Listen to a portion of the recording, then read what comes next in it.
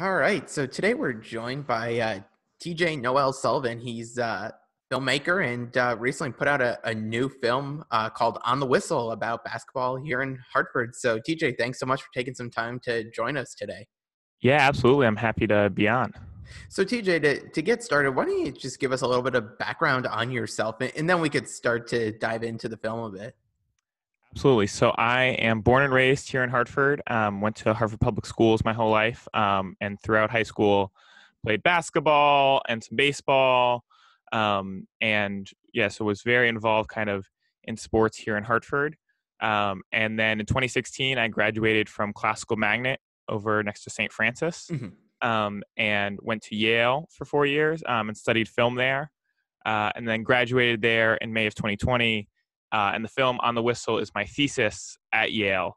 Um, it is a 20 minute uh, basketball short that follows a suburban basketball star who transfers into Hartford High um, and kind of struggles to impress his new uncompromising coach. So, talk a bit about the, the premise there and, and how you came up with the idea for this film. Yeah, absolutely. So, I think the the idea came from kind of a mix of things. Um, they were obviously in the sports world. Uh, so I wrote the first draft in spring 2019, and in the sports world, there were a lot of conversations kind of happening uh, that influenced the idea a little bit. Um, so right about when I wrote it was the incident. Um, you might remember Tom Izzo, the coach of Michigan mm-hmm. State, was like on uh, national television, really screaming at one of his players, and it kind of sparked this debate, not just in the sports world, but like on national news around what where's the line with tough love coaching and that kind of thing. Um, and it got me talking with some of the guys that I played with um, back in high school, and we are kind of talking about, you know, our coach was not quite that extreme, but there there were definitely, you know, part of high school basketball is having a coach get angry with you and yell at you, and you know that kind of thing. And we talked about how in the moment that felt horrible, and you know when you're running the suicides as punishment and that kind of thing, you hate it. Uh, but now looking back on it, we realize how much it shaped our lives. And so part of what I wanted to do with this short was kind of write a film that that examined uh, where this line was and the impact of you know tough love coaching styles and and where that fell. Uh, at the same time, I also kind of drew on some of my own personal experiences. Um, so I attended Classical Magnet, which uh, is a very diverse school. It's one of the magnet schools in the state that's set up with uh, racial diversity quotas.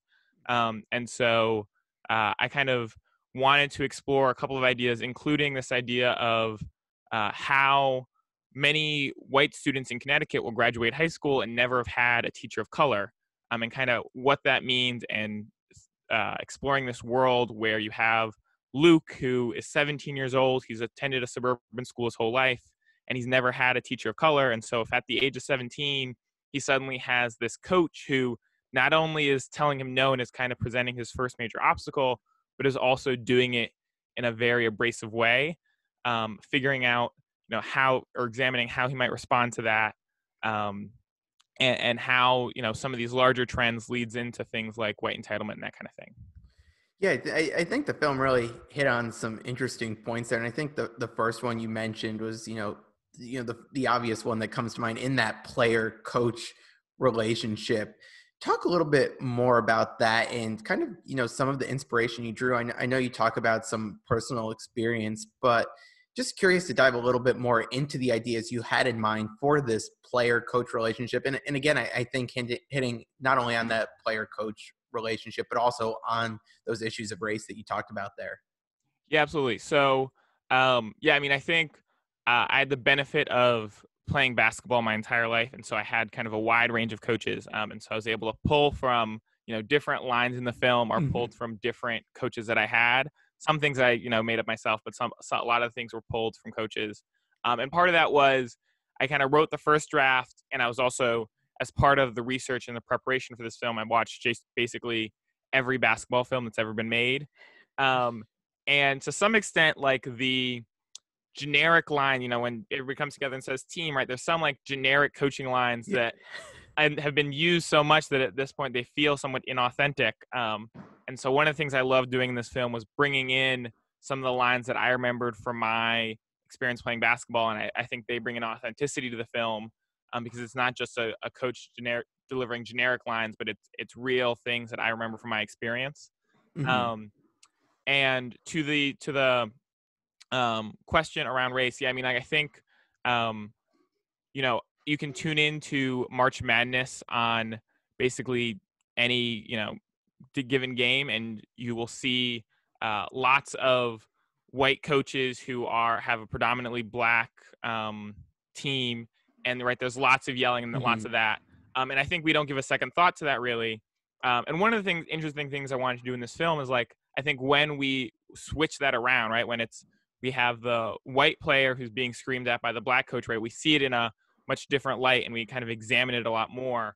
Um, and so that was that was part of it. Um, and then also leading into like uh, things around just yeah this this this sense of entitlement that hey I'm a player and I deserve to you know get X Y and Z um, right like this expectation of democracy yeah. on a team that kind of thing. Yeah, really, really interesting points that, that you bring up there. I'm, I'm curious now to dive a little bit more into the filmmaking process. So, we don't we don't see a ton of films being made here in Hartford. Um, talk a bit about what that process was like for you and, and getting everything organized and, and what went into ultimately producing this short film.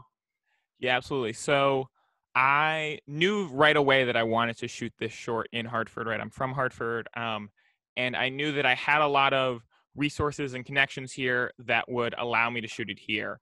Um, I, have said now, and I, I think this is true this film could only have been shot in Hartford um, because you know when making a short film you have a limited budget uh, and so you have to find in-kind services donations people who are willing to volunteer their time to make it happen.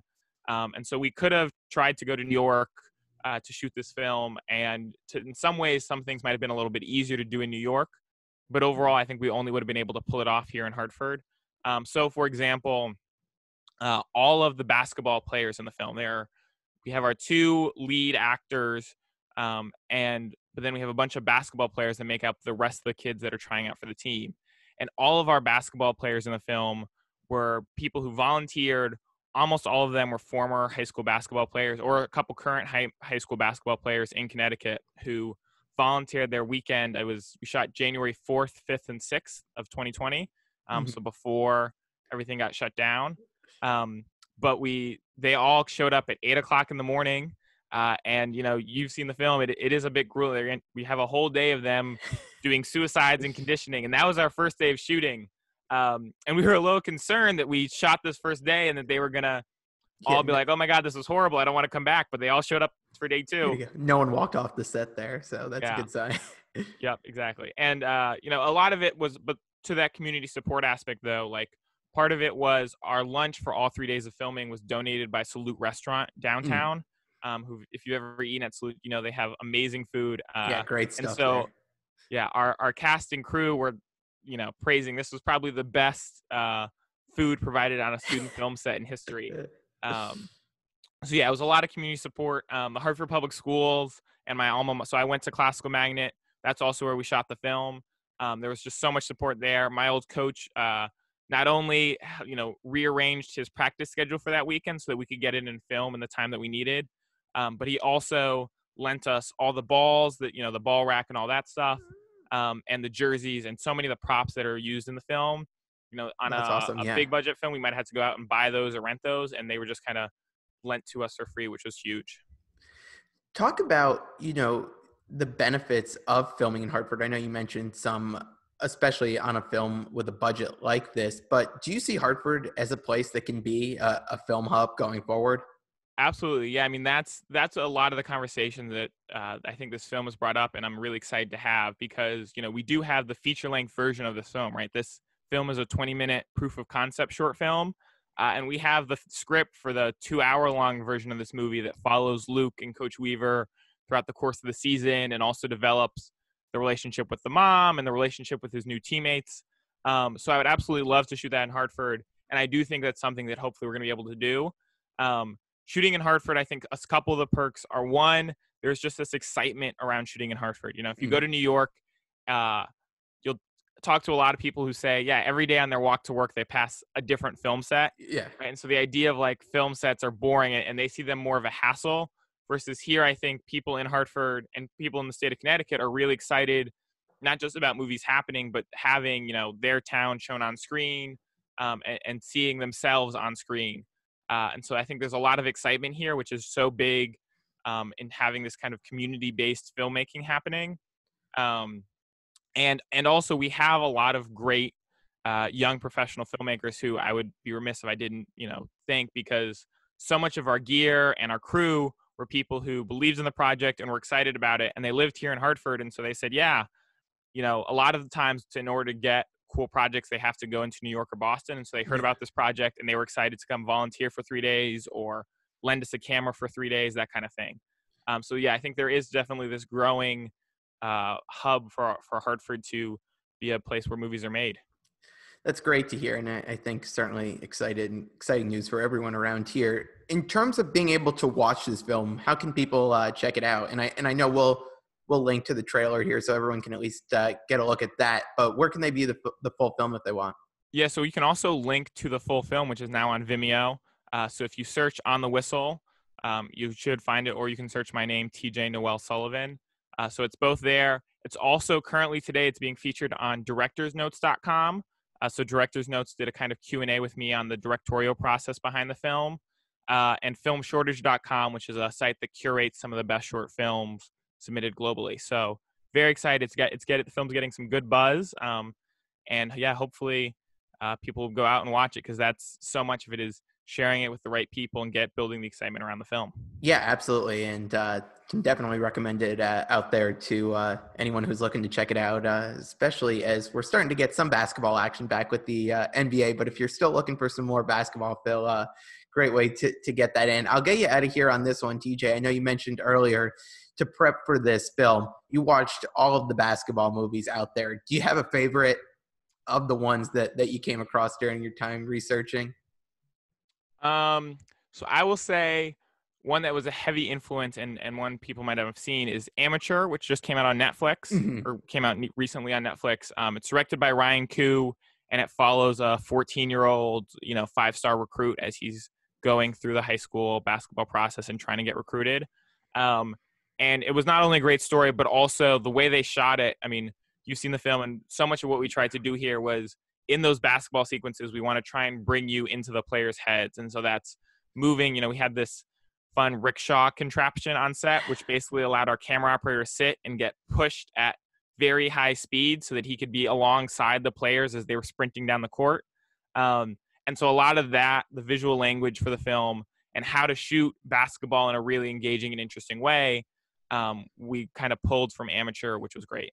Very cool. So, uh, Great to hear it. And TJ, uh, best of luck as you uh, work towards promoting this film and hopefully getting a, a full feature uh, out of it because definitely, definitely really enjoyed it. So again, TJ Noel Sullivan, the, the film is on the whistle.